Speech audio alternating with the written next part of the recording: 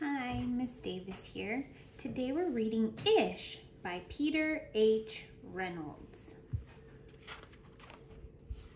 If you like this story, I also have the story The Dot.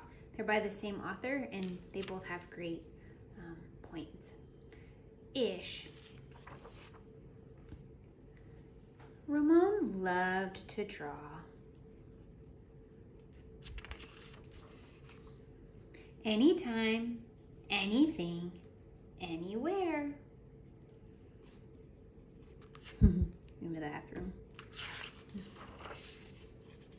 One day, Ramon was drawing a vase of flowers. His brother Leon leaned over his shoulder. Leon burst out laughing. What is that? he asked.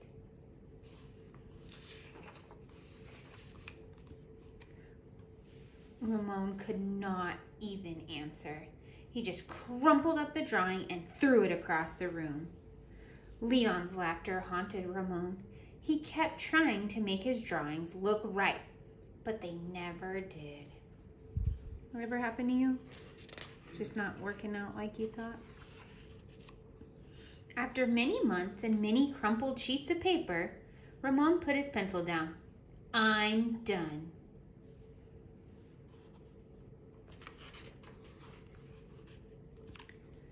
Marisol, his sister, was watching him. What do you want? he snapped. I was watching you draw, she said. Ramon sneered. I'm not drawing. Go away.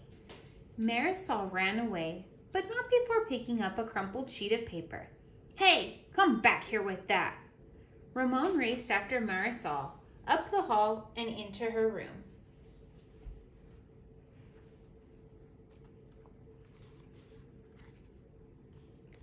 He was about to yell, but fell silent when he saw his sister's wall. He stared at the crumpled gallery. Hmm. Look at all those pictures. This is one of my favorites, Marisol said, pointing. That was supposed to be a vase of flowers, Ramon said but it doesn't look like one. Well, it looks vase-ish, she exclaimed. Vase-ish? Ramon looked closer. Then he studied all the drawings on Marisol's walls and began to see them in a whole new way. They do look ish, he said.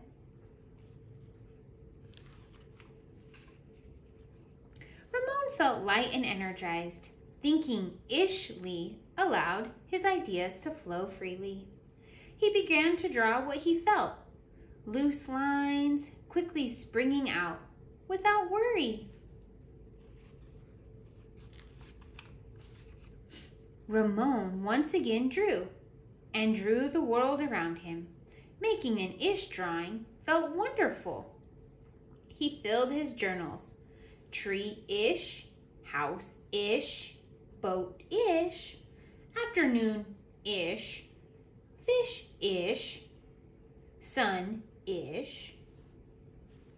It's a lot of ish. Ramon realized he could draw ish feelings too. Peace-ish, silly-ish, excited-ish. His ish art inspired ish writing. He wasn't sure if he was writing poems, but he knew they were poem-ish.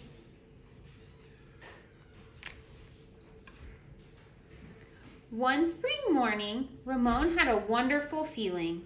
It was a feeling that even ish words and ish drawings could not capture. He decided not to capture it. Instead, he simply savored it.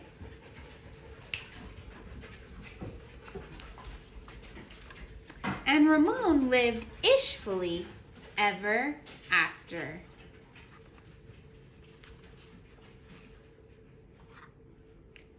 The end ish. I hope you enjoyed our ish story today. teachers, if you are interested, there is a curriculum that I like to use. Um, it's from Teacher Pay Teacher by Tara West. And um, this book goes along with teaching kids to get started writing, and that their writing doesn't have to be perfect, it just has to be writing ish, and they just have to start. Um, please like, comment, share, and subscribe, and let me know what else we can do to help um, to continue to help teachers. Thanks. Bye.